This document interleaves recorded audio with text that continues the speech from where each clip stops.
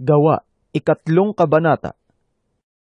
Minsan, nagpunta sina Pedro at Juan sa templo.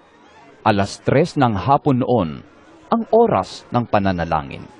Sa pintuan ng templo, na tinatawag na pintuang maganda, ay may isang lalaking lumpo mula pa nang ito'y isilang. Dinadala ito sa templo araw-araw upang mamalimos sa mga taong pumapasok doon. Nang makita nito sina Pedro at Juan na papasok sa templo, siya'y humingi ng limos.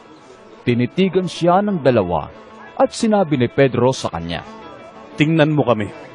Tumingin nga siya sa kanila sa pag-asang siya'y lilimusan.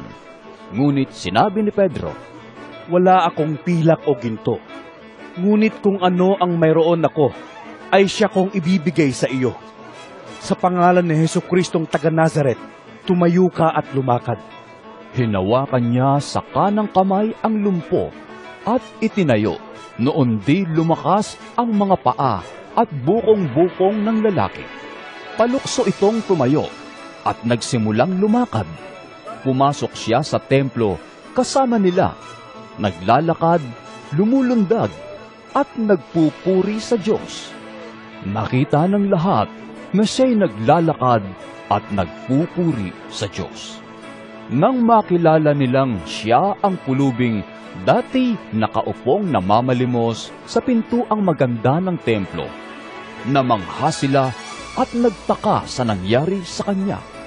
Habang nakahawak siya kina Pedro at Juan sa lugar na tinatawag na Portiko ni Solomon, patakbong lumapit sa kanila ang mga taong takang-taka sa nangyari. Nang makita ni Pedro ang mga tao, sinabi niya, Mga Israelita, bakit kayo nagtataka sa nangyaring ito?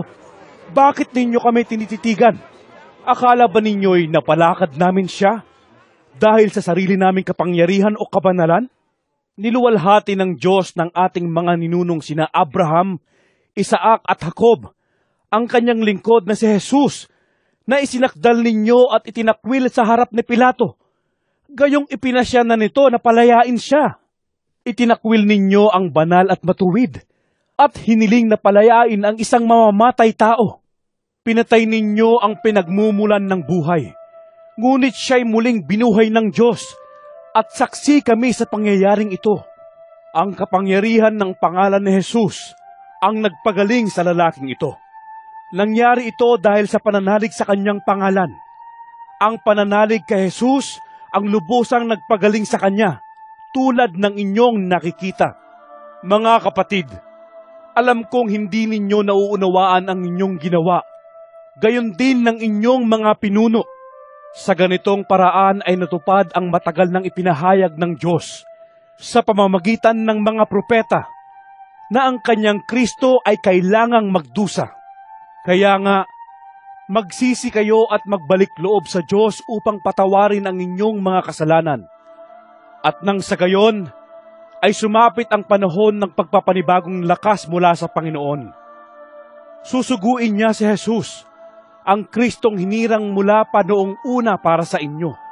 Siya'y dapat munang manatili sa langit hanggang sa dumating ang pagbabago ng lahat ng bagay, ayon sa ipinahayag ng Diyos sa pamamagitan ng kanyang mga banal na propeta mula pa noong una.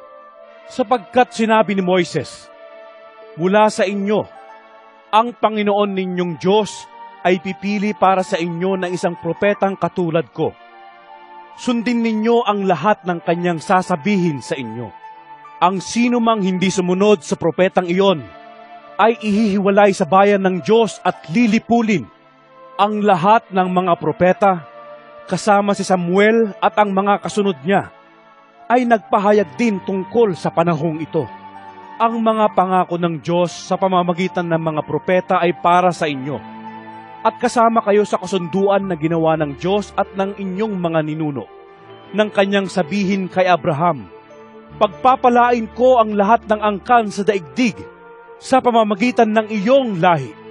Kaya't matapos buhayin ng Diyos ang kanyang lingkod, sa inyo siya unang isinugo upang pagpalain kayo at tulungang tumalikod sa inyong masamang pamumuhay.